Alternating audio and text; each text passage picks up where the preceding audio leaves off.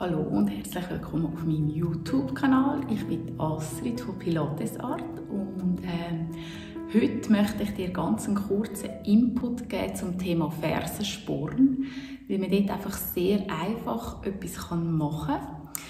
Aber ich will dir zuerst noch erklären, wie eigentlich ein Fersensporn entsteht. Und für das habe ich da ein Experiment dabei, nämlich mein Skelett. Jetzt hoffe ich, ich kann das gut zeigen. Das ist nämlich der Fuß. Du siehst, da vorne sind die Zehen und dann da ist das Fußgewölbe, da hinten, das ist die Ferse. Und jetzt ist das so, dass es eine Faszie hat, Plantarfaszie. Ich schnell schauen. Die geht da unten durch, wo das Terraband ist. Genau. Und die geht dann auch weiter ähm, jetzt, äh, mhm, da schnell schauen. Genau so.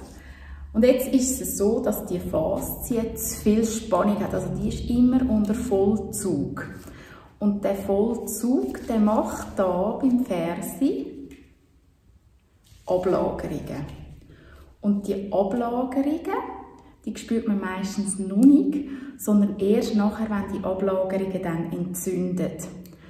Und weil du zu viel Zug hast, passiert das eigentlich. Also passiert das. Und darum ist das Ziel, dass einfach, ähm, dass man den Zug löst von dieser Plantarfaszie, von dieser Fußfaszie. Und das kann man ganz mit einer einfachen Übung, und zwar, wenn du einen Tennisball hast, oder wie ich so einen Faszienball, platzierst den auf der Matte oder musst ihn halt auf dem Boden und rollst.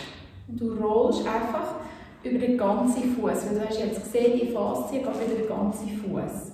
Und du kannst auch hier spielen. Du kannst einen festen Druck geben, dann gehst du tiefer rein.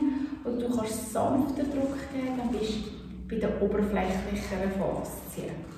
Und das ist wirklich etwas, wo du sehr gut kannst dann ähm, Fersensport entgegenwirken Mach es beidseitig auf jeden Fall.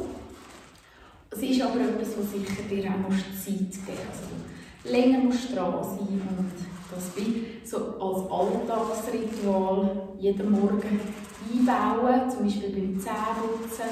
Ich würde es gerade so verlinken, dass es wie nicht vergisst. Genau.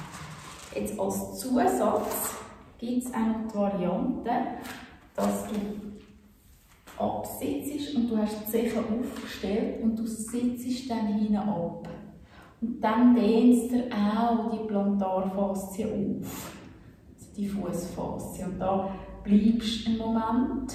Oft ist es für die Leute sehr schmerzhaft. Also du dich so ein bisschen daran antasten oder vielleicht machst du es wirklich mit dem Ball und das so einfach als Zusatz.